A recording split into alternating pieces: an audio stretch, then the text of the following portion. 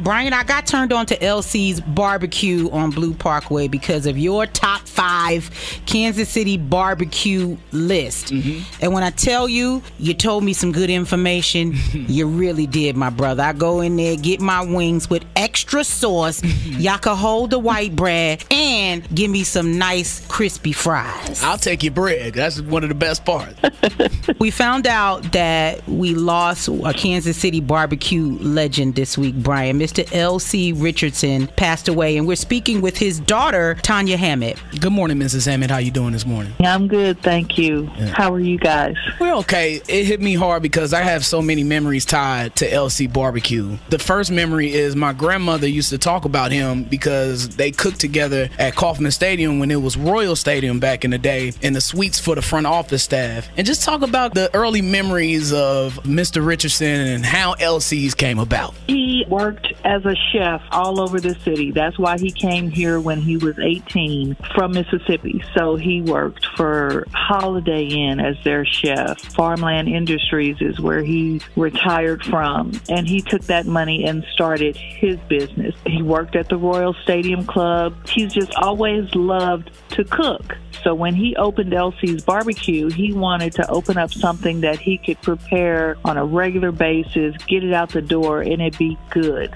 So that's why he chose barbecue. He said soul food would have been a lot of work for him and made his mark in this city. How has the family been receiving or responding to all of the love that you guys have been getting? I'm sure your phones have been ringing off the hook. Off the hook. I cannot keep up. I sat down last night and looked at our website, and there are so many comments, and I just love every one of them. A lot of people came from Minnesota, Nebraska, Iowa, just all over.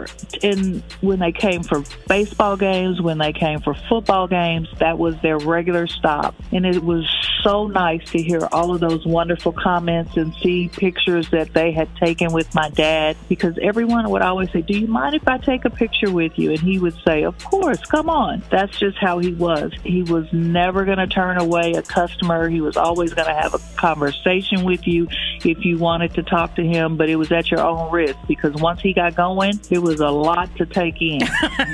she loved to hunt. He loved the Royals. He loved the Chiefs. He just loved Kansas City. One of my favorite things about walking into LCs is seeing Mr. Richardson right there, sitting at his chair, handling business and watching TV as people go up and order their food. For those who want to pay their respects to Mr. Richardson, do you have any arrangements set up for the public? I absolutely do. On Saturday, February 27th, from 4 p.m. to 7 p.m. at Watkins Heritage Chapel, 4000 Emanuel Cleaver Boulevard. You can come in and pay your respects.